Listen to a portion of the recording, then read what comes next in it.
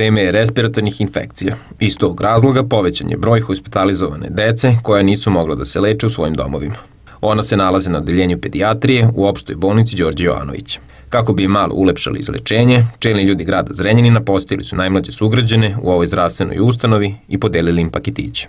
Uslovi u kojima e, lečimo decu, e, pomenula sam e, pre nekih desetak dana su ispod onog idealnog, tako da bih eto želela još jednom da se ovaj, zahvalim gradskim čelnicima, opštini Zrenjanin, našim dragim gostima danas što su obišli decu, što su se setili dece u vreme ovih e, novogodišnjih i božićnih praznika, da se zahvalim i da kažem da zaista ovaj, e, ulazimo u narednu godinu sa velikom nadom da će pediatrija konačno, e, zahvaljujući donacijama i pomoći, biti obnovljena i da ćemo moći da se pohvalimo naredne godine da, da lečimo decu u boljim uslovima.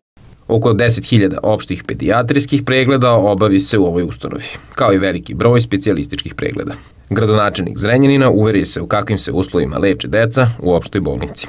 S obzirom ste bili na pedijatriji, pre jedno, dve nedelje oni su putili jedan apel, da li postoji neka mogućnost da grad Zrenjanin pomogne kako bi se makar možda neki deo odeljenja sredio? Zar vi mislite da grad Zrenjanin neće pomoći To je apel pre svega e, ka široj javnosti, ka dobavljačima, ka investitorima, ka privredi, a grad radi zajedno sa bolnicom mnogo dobrih stvari i mnogo značajnih projekata. Stručni kadar omogućava dobru medicinsku diagnostiku i lečenje. Iz službe pedijatrije su ponovo uputili apel svim kompanijama i ljudima dobre volje da se sete dece i sledeće godine, ne samo u vreme praznika, jer je svaka vrsta pomoći dobrodošla.